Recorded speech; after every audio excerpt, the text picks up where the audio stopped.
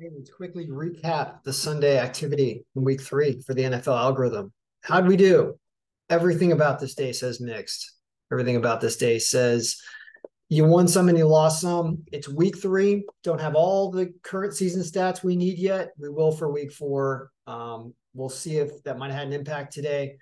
But let's go down the list because there was some interesting things that happened today that weren't predicted by anybody.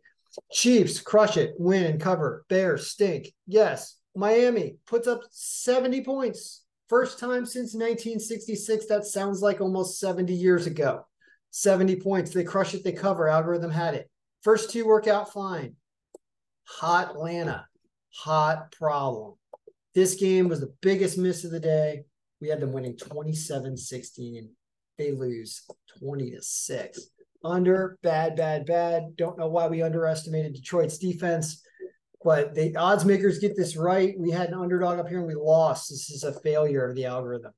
Dallas blows one with a 91% margin.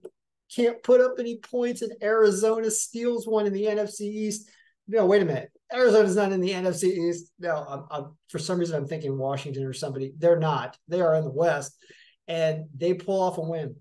Uh, wow. At least we had them down here and did not choose them as a survivor pool pick. If you had Dallas in the survivor pool, algorithm did not strongly advise Dallas. Clearly, it had Kansas City, Miami, and our pick, San Francisco, above those. But wow, there we go. Bummer. Minnesota and Los Angeles. Guess what?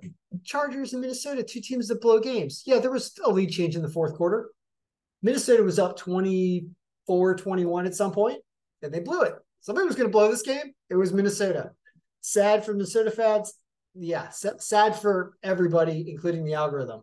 Bummer. We get the points almost exactly right. in magnifier of six, though. Packers come back down 17 points to beat the Saints. We get the Saints score almost exactly. We have the Packers winning. That's a win. Buffalo crushes it and covers. Not even close. Bye bye Washington's undefeated season under new ownership. Bills win. So this is okay. Ravens lose a game to Indianapolis. At least the odds makers had this as the third strongest favorite of the day. We had them all the way down here in eighth. So at least we had them off the board and said, don't bet them to win. They didn't go over like this point projection was saying, though. Mm-hmm. It did not happen. Sucks. So this game was a weird miss on both levels. Not good. Jets stink. Why is that news? Shouldn't be news. Jets have always stunk. The last time they won, probably 1969. Not not the last time somebody put up 70 points, but the last time that Broadway Joe won a Super Bowl, which I believe the only time the Jets. That was over a Baltimore Colts team. As you can see, Baltimore lost today, and so did the Jets. Uh, Jets stink. Make the Patriots defense look good. At least we had the points here correct, and then nobody can score. So the algorithm's right on that, but has the winner wrong. Jets give up a safety, can't even cover the three, three and a half by screwing up. Oh, terrible. Jets are exactly like the Jets are supposed to be stinky. Seattle wins, puts up more points than we thought, but they win. That's a win. Houston, the bright underdog spot of the day, the only underdog we hit, at least it paid 330. We got Jacksonville's points exactly correct, and Houston somehow puts up more a lot in the first half and wins. So that's a win. Here's another terrible miss. Tennessee did not show up. How did Tennessee beat the Chargers? Was it because I had the Chargers on a huge round robin last week and it, it, it destroyed me? Is that why? Uh, I don't know, but they played crappy, apparently. Didn't do anything. I don't know what Henry did, but it wasn't impactful, clearly, if they can put up three points. They give up 27. Bad miss for the algorithm. So it's a mixed day. I hope I warmed it, you know, did my warning of, you know, not enough good stats yet. Week three is tough. We get about a random noise day, honestly. And so it is what it is. It's not miserable, but it's also not good. And we got to figure out why we lost weird games like Atlanta and why we got Tennessee so wrong. Let's stop favoring the Jets. Hopefully, now that they, they they're not coming off that win from Buffalo anymore, they've come off two bad losses to a Dallas team that loses to Arizona. I don't think there was any way we were predicting Dallas would lose, but at least we had them down here as the fourth on the day. So that's a, a small win for the algorithm in that sense.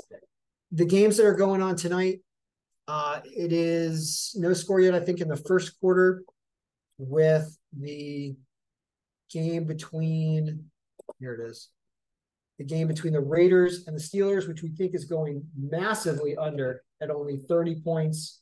of a projected 43. So that's really the call for that game all the way down there. And it's just weird low scoring game. The Raiders can barely win, apparently, at a, at a slightly favored line. And then Monday night, it gets interesting to see if Tampa Bay actually does something against the Eagles.